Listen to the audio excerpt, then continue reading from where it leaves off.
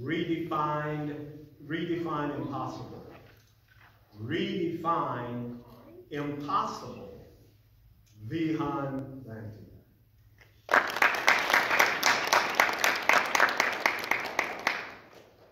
The great Nelson Mandela once said, It always seems impossible until it's done.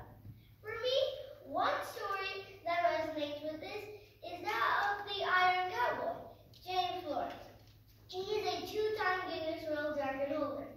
Even after setting two world records, one in 2010 and the other in 2012, James still knew the best was inside him.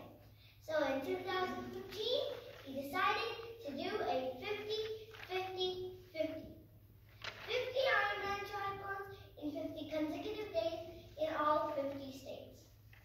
I may have given you all the impression that James was a naturally gifted athlete, but you'll be surprised. His fitness journey started with a four-mile fun run, which he completed huffing and puffing. The thing that inspires me the most about the Iron Cowboy, James Lawrence, is that he did something even other professional athletes deemed impossible. He truly redefined the for me.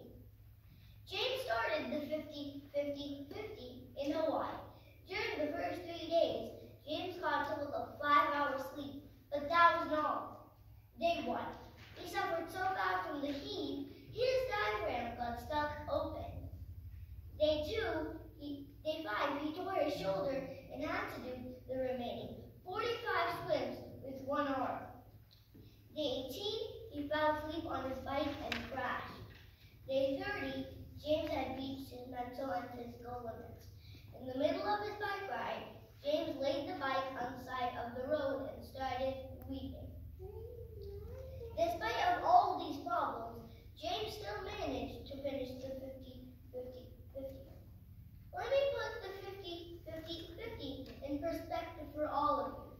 In the period of 50 days, James swam the distance from San Diego to LA, biked the distance from the west coast to the east coast and back, and ran the distance equal to the entire length of the west coast.